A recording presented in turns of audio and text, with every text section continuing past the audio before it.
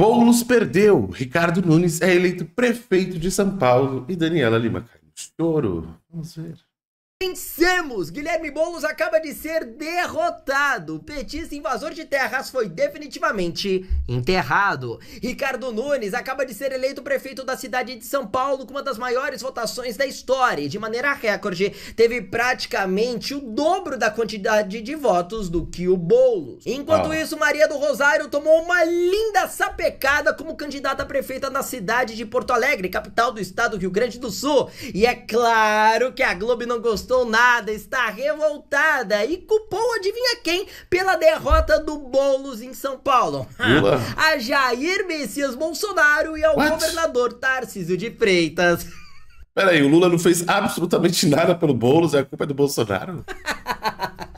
Faz o L, engole o choro, porque a democracia venceu. Neste exato momento, milhares de inscritos daqui do meu canal, de qualquer idade, de todo o Brasil, estão conseguindo fazer 200, 300 a faculdade de medicina da minha espoguinha ou golpe que fica até o você vai vir trabalhar te esperando, hein? Lá no finalzinho deste vídeo. O governador Tarcísio de Freitas convocou uma coletiva de imprensa para fazer o seguinte anúncio. executação de, de conversas né, e de orientações que eram emanadas de presídios por parte de uma facção criminosa, orientando determinadas pessoas em determinadas áreas a votar em determinados candidatos. Houve essa, essa ação de inteligência, houve essa interceptação, agora isso não vai ter influência nenhuma na eleição. Qual era o candidato prefeito que eles estavam orientando a votar? Hã? Qual era o candidato que eles orientavam a votar? Em Boulos. São Paulo? Boulos? Óbvio. Bom, e é claro que tais declarações não agradaram em nada a Globo, especialmente ao descobrirem que Guilherme Boulos acabou sendo derrotado. Na verdade, não simplesmente perdeu as eleições, ele tomou é uma verdadeira lapada no meio da fuça por parte do presidente Jair Bolsonaro, que fez todo o trabalho de apoio e articulação política para que Ricardo Nunes vencesse a eleição em São Paulo. Olha só o surto da Globo. Bom, algumas coisas para serem frisadas. Esses bilhetes teriam sido encontrados em setembro, portanto, ainda no primeiro turno. Ora, se foi em setembro no primeiro turno, por que Ora. só então hoje, no dia da Ora, eleição de segundo bolas. turno, durante o processo de votação, o governador Tarcísio de Freitas achou por bem que seria uma boa ideia, ao lado do candidato dele, soltar essa informação. Outra Bolas, coisa, por que o bolas. governo do estado, segundo informação do Tribunal Regional Eleitoral, a Dani trouxe essa informação aqui a partir da Rosana Cerqueira, não informou a Justiça Eleitoral, o TRE?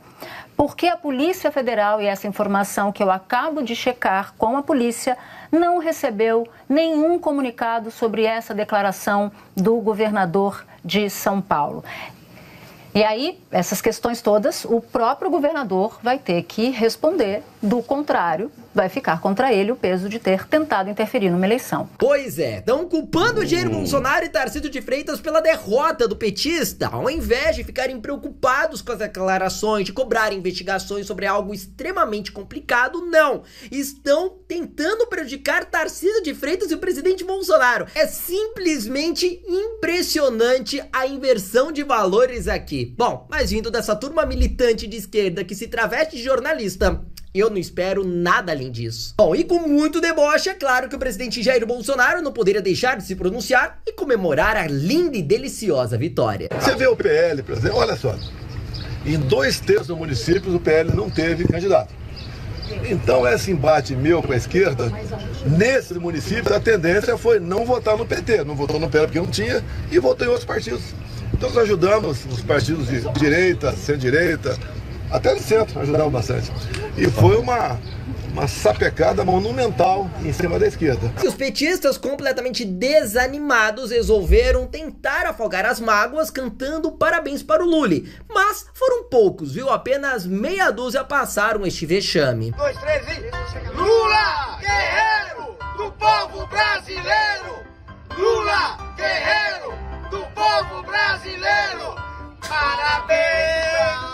Horror, data Vergonha. Jesus.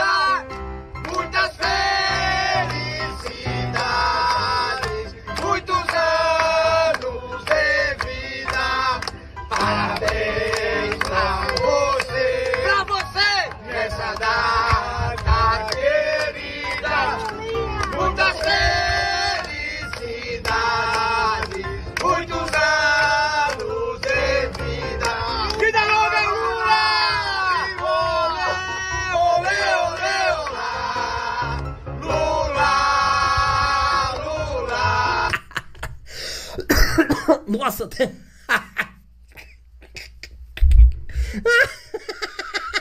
O que, que foi isso aqui? Até engasguei. Mas olha, não adiantou de nada. Teve até tentativa de comprar a escolha do povo. E olha, não deu muito certo pelo resultado que a gente tá vendo aqui, né? Olha esse vídeo, olha essa denúncia. Ah, foi tão fácil. Abre aqui. Dois reais ao presente misterioso. Obrigado, Leitão. Mas Amanhã 27 é 22, viu? Esta vitória da direita neste segundo turno não é nenhuma novidade, até porque durante o primeiro turno nós vencemos em peso, e quando eu digo nós, eu tô contando comigo, com a minha eleição para vereador aqui pelo PL, na minha Mandou cidade, bem, Mogi das parabéns. Cruzes, estado de São Paulo. Uma das maiores cidades do estado de São Paulo me elegeu, e fui eleito como um dos mais bem votados da história. Aula. 4.322 votos, eleito pelo PL, pelo partido do presidente Jair Bolsonaro. Mas convenhamos, né, pessoal? Um candidato que faz uma carreata esvaziada como essa durante a campanha, Eu tô aqui ao lado da Marta, minha candidata a vice, que vocês conhecem. A Marta Suplicy que fez os seus, que fez o bilhete único. Esse é o time, é o time do Lula, é o time do povo. a gente tem uma escolha certa. Porque alguém que tem trajetória, alguém só poderia perder. Grande dia! Faz a letrinha do amor, bolos! Engole o choro. Adeus. Você precisa entender de uma vez por todas que é possível sim fazer 400, 500 até mais todos os Vou dias trabalhando propaganda. com a internet diretamente da sua casa. E o melhor, sem vender nada, sem ter que se expor e muito menos participar de qualquer golpe que tá em alta por aí, como o jogo do tigrinho, do aviãozinho e muito menos vender o curso do curso.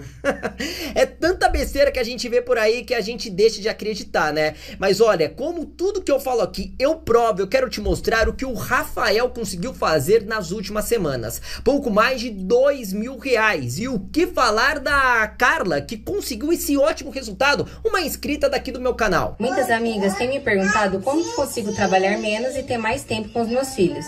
Foi muito simples. Simplesmente vim aqui em um vídeo teu, cliquei no link na descrição de assistir o vídeo que explica tudo sobre inteligência artificial e acabei me matriculando no seu método. Muito organizado, que explica passo a passo e simples. Realmente cumpre o que promete, né? Isso que tá me dando um resultado aqui em casa excelente. Deixa até eu te mostrar aqui nas minhas últimas semanas quanto eu ganhei. Estou muito feliz mesmo. Muito obrigada, Felipe. Beijão. Uau. Então, se você quer ser igual ao Rafael ou a Carla, que saíram completamente do zero e mudaram suas vidas financeiras, eu te convido a clicar agora mesmo nesse link que tá logo aqui embaixo na descrição desse vídeo. Eu vou deixar o link do vídeo do Felipe Lins, fortalece lá. Até a próxima. Tchau, tchau.